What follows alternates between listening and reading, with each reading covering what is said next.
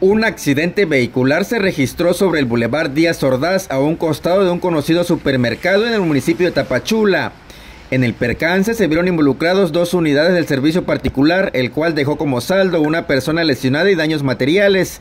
Sobre el incidente se dijo que cuando el conductor de un auto compacto tipo sedán de color negro, con placas del estado de Michoacán, salía del estacionamiento del supermercado y al llegar a la altura del semáforo del Boulevard Díaz Ordaz, presuntamente tenía la luz verde, pero al continuar fue impactado por una camioneta de color rojo con placas del estado de Chiapas.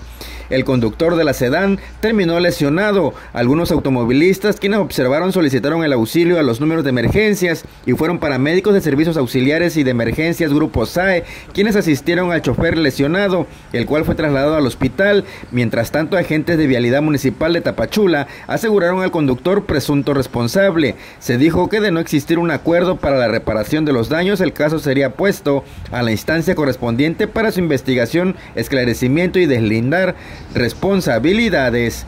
Para Noticias de Chiapas en línea, Pedro Monzón.